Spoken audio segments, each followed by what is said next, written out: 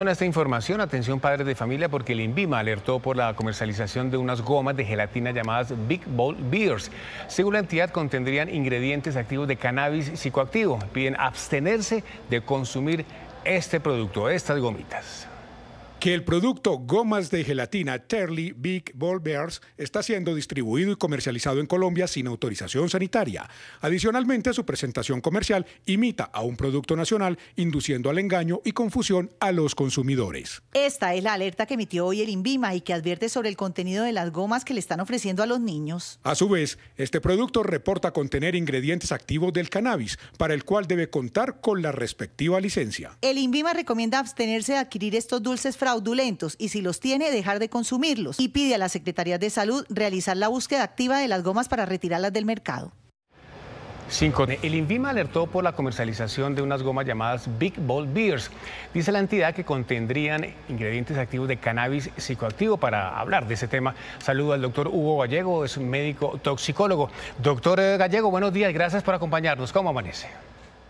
Eh, muy buenos días, cordial saludo para ustedes. Gracias, señor. Doctor Gallego, ¿cuál es el riesgo para consumir este producto, estas gomitas que contendrían estas sustancias? Sí, sobre todo pues como destacan en la etiqueta que pueden tener THC o, CBD. El THC es uno de los cannabinoides eh, presentes en la, en la marihuana o cannabis y es el que puede dar efectos psicoactivos. Entonces podría dar efectos como de la intoxicación aguda o la traba que las personas pudieran tener, entonces ahí sería un riesgo para los niños. De hecho, ya hemos tenido intoxicaciones agudas, leves, por algunos niños que han consumido las gomitas porque les da ese estado de somnolencia, les puede dar un estado de cambio de comportamiento, de conducta, de hilaridad, o sea, de risa y otras manifestaciones que da el consumo agudo de estas eh, eh, gomitas que pueden contener estos cannabinoides. Doctor Gallego, ¿y qué se puede derivar de un niño que independientemente más de la traba pues, que pueda tener con eso, qué otros riesgos puede tener?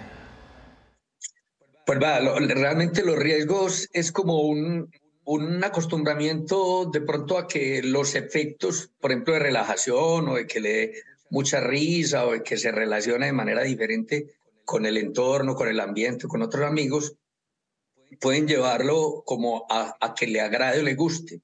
Entonces, de ahí se nos podría derivar el riesgo de que la persona se vaya enganchando o el niño se vaya enganchando, conectando con esto y presentar entonces el riesgo de, de, pronto de adicción o de eh, buscar emociones o sensaciones diferentes. Mm. Pues, eh, doctor Gallego, gracias por acompañarnos en esta emisión de noticias. Es una alerta y un llamado a los padres de familia. Gracias, señor. Feliz mañana. Feliz mañana. Muchas gracias.